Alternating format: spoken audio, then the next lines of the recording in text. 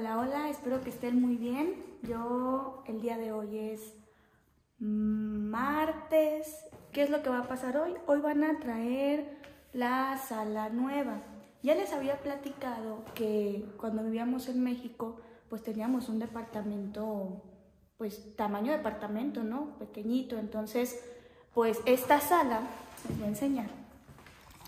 Bueno, este sillón, porque es solamente un sillón, un sofá, eh, prácticamente llenaba el espacio de la sala.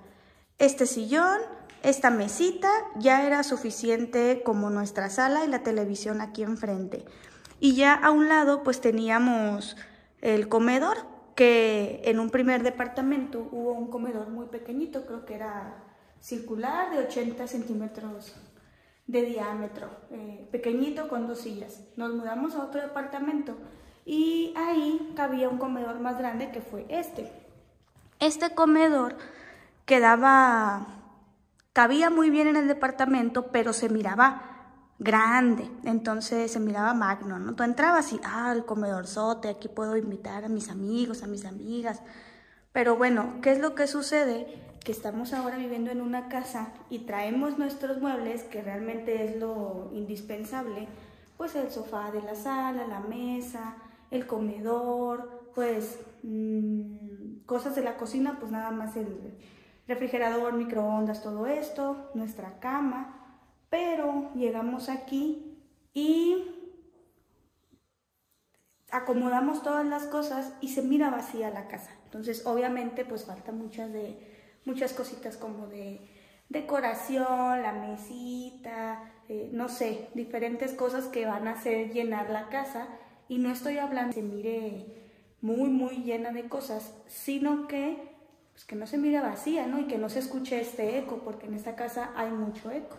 Entonces, ¿qué es lo que va a pasar? Que el día de hoy van a traer una sala que ordenamos que esperemos que quede mejor en este espacio. Entonces, nuevamente les voy a enseñar cómo está la sala ahorita, que es, este es el espacio de la sala, ahí está.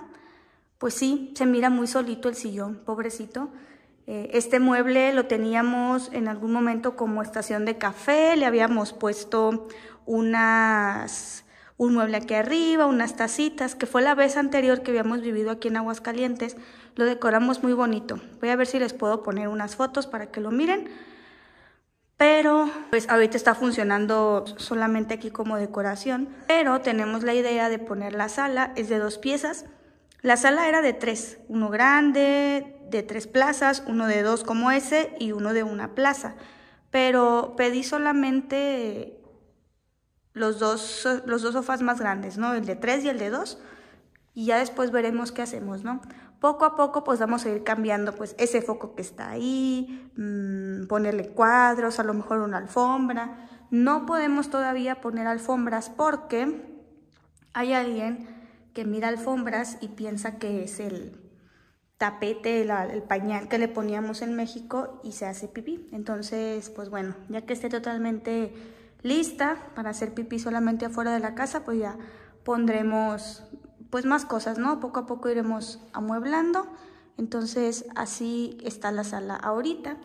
La ordenamos creo que la semana pasada y ya no estaba del color original que habíamos pedido. Habíamos solicitado una, una tela como de terciopelo, beige, blanca, más o menos, muy muy clarita, pero no estaba. Ya nos dijeron que no había disponibles, que a lo mejor iba a tardar. El Señor no nos quiso quedar mal con el tiempo y decirnos una semana, dos semanas, tres semanas y traernos así porque no dependía de Él, sino del proveedor de las telas, ¿no? Entonces finalmente nos decidimos por otra tela, de lino creo que se llama, un color pues el más clarito que había en ese momento. Me mandaron la fotografía por WhatsApp, ni siquiera sé de qué color es en persona, no lo miré, entonces bueno, llega ahorita el ratito, ayer me mandó mensaje el señor que ya estaba lista la sala, pero que em, pues le daba pena traernosla tan tarde, ya era de noche, entonces la va a traer el día de hoy, no sé a qué horas, yo aquí voy a estar en mi casa. Mm, ¿Qué más les puedo platicar? Pues estamos en proceso ahora de que los perritos tampoco se suban a los sillones. Ellos tienen aquí abajo su cama, el lugar donde estar. Espero que duren limpios los sillones por los perritos. Mm, vamos a intentar no darles permiso de que se suban, pero bueno, ya veremos cómo nos va. ¿Y qué más?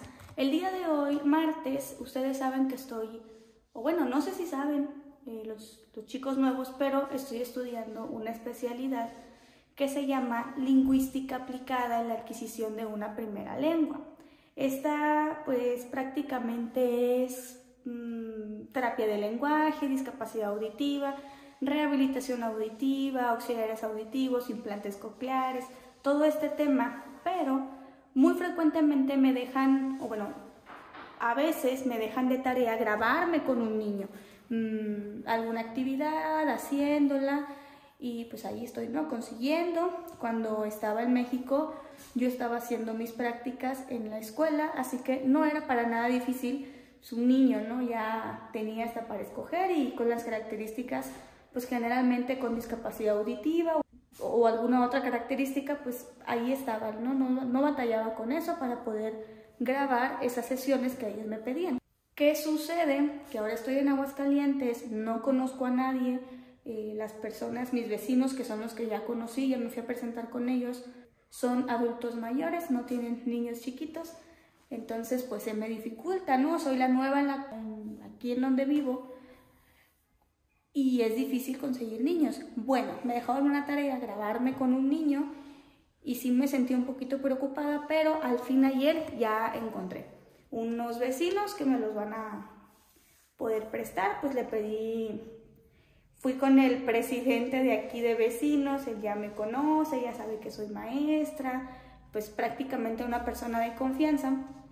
Y él ya me dijo, no, mi amigo, el vecino de tal casa, él tiene un niño con, con esa edad, porque no me pidieron niños con alguna discapacidad, es un niño regular, solamente con, con un rango de edad. Entonces ya habló con él, sí, sí, mañana te lo presta, no sé exactamente si me va a dejar traérmelo a mi casa o yo voy a ir a su casa o vamos a ir a un parquecito aquí cerca a trabajar. Yo entiendo perfectamente que soy una desconocida y así soltarme al hijo así nada más, pues acepto los términos que sean, ¿no? Igual yo soy la interesada, es la tarea que yo tengo que hacer. Entonces, eso es lo que voy a hacer en un ratito. Voy a ir con el niño a grabarme una sesión con él pero tengo que revisar ahorita qué actividad es la que tengo que implementar. Me la mandó la maestra hace un tiempo y la verdad es que no recuerdo muy bien. Necesito revisarla, tengo la idea de la actividad, pero necesito revisarla para ver qué materiales me hacen falta. Creo que tengo que ir a imprimir, así que ahorita voy a buscar las imágenes y, e ir a imprimirlas a color. Yo no tengo impresora a color. Mm, ¿Qué más? ¿Qué más? Y para poder trabajar esa parte, ¿no? Por lo pronto es todo es temprano. Bueno, no es cierto, son las 10 y media de la mañana. Ahorita que llegue a la sala les muestro. Y por lo pronto me voy a poner a preparar los materiales de la sesión con mi vecinito.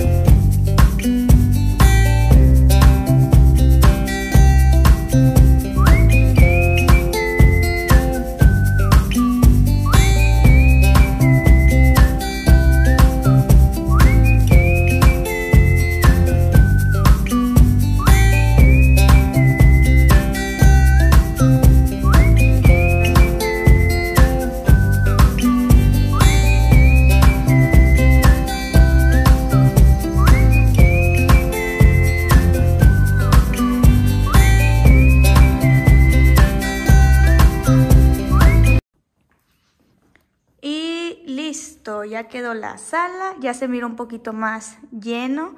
Mm, pues ya después iremos viendo poner cuadros, poner cositas por ahí, un mueble aquí a medida, unos banquitos, pero bueno, por lo pronto fue así. No quise que hubiera un tercer sillón porque sentía que iba a quedar muy amontonado, pero bueno, ya está la sala, ya en lo que terminamos de decorar lo demás, ya quedó. Y pues sí me gustó, la verdad es que yo había pedido otro color, un color casi blanco, y me gustó porque este color lo compré o lo pedimos sin verlo. En realidad yo no sabía de qué tono era, me lo mandaron por WhatsApp la fotografía de la tela, pero como que tenía flash y se miraba en unas partes más claras y en otras más oscuras, y al final no supe bien qué tono era, pero está bien, hombre, ese tono, ¿no? Así acepté que fuera ese. Es como jaspeadito, no sé cómo se le llama esto. Me gusta porque de cerca sí se mira que tiene como este estampadito, pero ya de lejos como que se distorsiona. Mm, siento que es un color que no es tan chismoso con lo sucio, con la mugre, que si las manos y uno pone la mano, el otro tono sí era clarito, clarito y liso. Entonces, en caso de que ya hubiera suciedad de que la taza, la mano sucia o perritos se subieran, pues sí se iba a estar notando siempre y siempre iba a tener que estarlo lavando. Ya una vez tuvimos un sillón de tela de un color liso y a pesar de que era un color crema o más oscurito, cafecito, constantemente llamaba a alguien para que estuviera lavando la sala, ¿no? Creo que este color va a durar un poquito más así, se va a mantener. Sí me hubiera gustado un poquito más clarito, pero está bien, me gusta. Ya siento la casa más habitada, ¿no? De muebles. Y aquí ya terminé de colorear, imprimí y coloreé estas figuras, que es para la actividad de ahorita.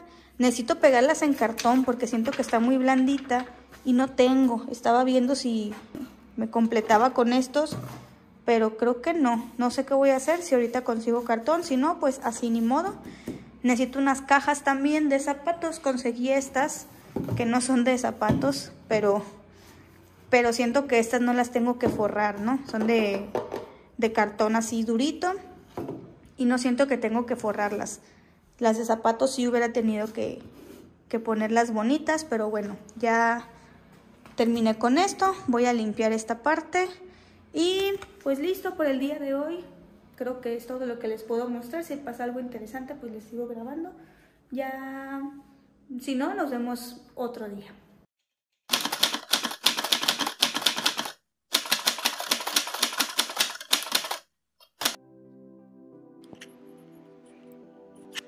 Este es el Centro Histórico de Aguascalientes.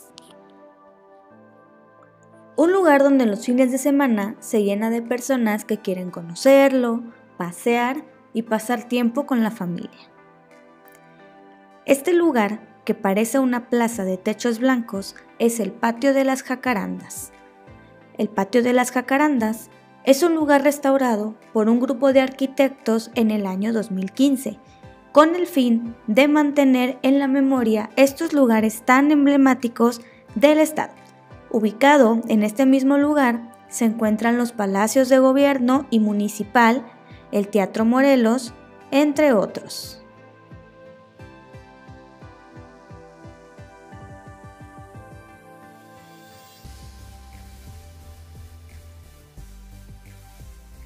La Catedral Basílica de Nuestra Señora de la Asunción es uno de los lugares de interés más fáciles de reconocer en Aguascalientes, debido a su construcción de piedra rosa y sus enormes torres.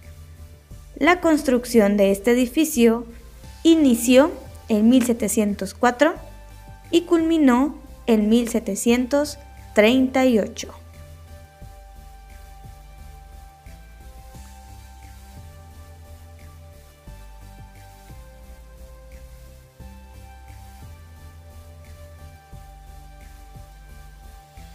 También estuvimos visitando la exposición Mezcal y Maguey de Aguascalientes. Esta busca brindar un panorama general acerca de su importancia tanto cultural como productiva, que han representado el maguey y el mezcal para Aguascalientes. A continuación, te dejo unas imágenes de la información presentada por si te interesa leerlo.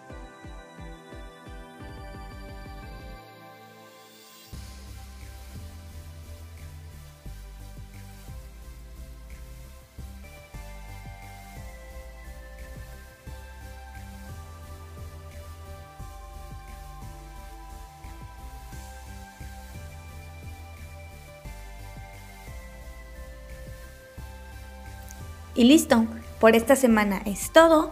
Muchas gracias por ver el video y adiós.